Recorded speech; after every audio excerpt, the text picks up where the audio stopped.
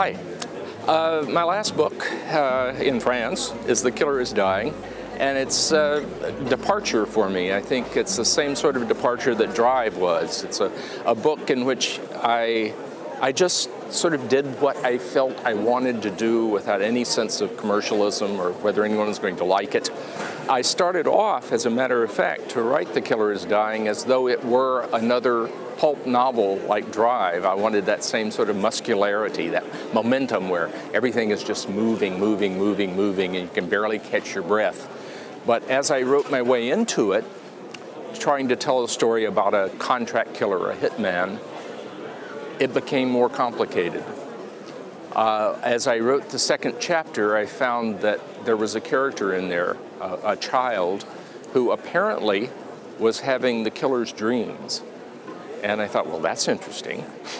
so I started pursuing that. And as I wrote my way into the book, it became more and more complicated, which on the one hand was a great challenge because I was doing, I was going places I had never been before in my writing. I was doing things completely, uh, I, I was in unknown territory. But, and that was challenging and wonderful, but on the other hand, I really wondered if I could make a book that people wanted to read because I was telling three distinct stories about three different people each with its own voice and its own sort of writing style.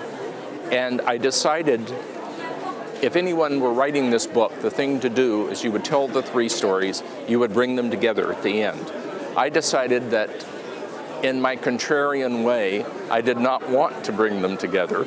I wanted these three people never to meet, but to have, to have connections, to have implied connections in their lives. Some of them perhaps a little supernatural, and some of them very, very likely. So I actually had three places in the book where their paths crossed, but they never actually met. And it was, it was thrilling to write because I felt every time I started a new sentence, every time I started a new page, every time I, I changed paragraphs, I thought, I can go anywhere I want to with this. And I felt that I was just continually throwing myself over the cliff and finding something to grab hold of as I slid down the hill to pull myself back up to throw myself off again. And for me, that's the joy of writing. I'm not, I'm not interested in writing according to a formula.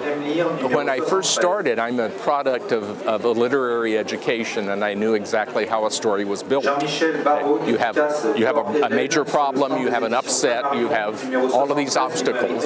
And I wrote 10 or 12 stories uh, to that template and I was bored. I thought this is not fun. This is supposed to be fun. This is supposed to be elevating play. And I started improvising. And I think that of all of the books that I've written, probably The Killer is Dying is the one that I took the most chances with.